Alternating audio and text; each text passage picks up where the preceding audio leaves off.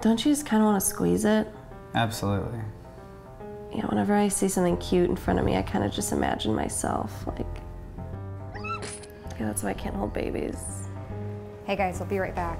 Watch the bunny. That thing when you're walking down the sidewalk close to the street and a bus is coming? And you just feel like your body's gonna take over and just fling yourself into Yeah, the street. Yeah, kablooey. Yeah, absolutely. Or like sometimes when you're with somebody, and you don't even have to be pissed off at them or anything, but you're just like, what would happen if I just Punch them in their stupid little fucking face. Yeah. Yeah. Or like just spit. Not even because of something they said. You're just like, Chris, you want a cup of coffee? Spit. Yeah, I get that. I also uh, get that with cigarettes. I kind of just want to like put them out on people for no reason. Mine doesn't always have to be negative though. Sometimes it's just like, what would happen if I kissed this person right now? Like, not right now. No, no, not right now. I don't even have to be like attracted to them. Ooh, I got another one. Super relatable, kind of fucked up though. You know when you like fantasize about your best friend dying so you can like take care of their significant other? If I die, finger and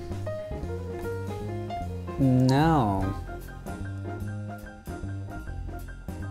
No, yeah, me neither. Oh, um, sometimes when I'm in a club or any place of music, really, I just like I feel like I'm going to get into a dance, battle. Yeah.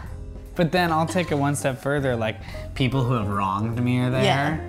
And like like my high school bullies, And like all my ex-girlfriends. that guy who I spit in his face earlier. Yeah. That guy's there. I got one that's uh, it's it's kind of a classic. Yeah, it totally hit me. engineering a situation so that your crush or your love is in immense danger and you kind of just have to save the day. Because, you know, live or die, you're a hero. You're Bruce Willis, yeah. if I die, finger and What are you guys talking about? Uh, just Dawson's Creek. The finale, Yeah. season two. Beaks. Oh, do you just want to squeeze him? No, weird. Psycho? Yeah.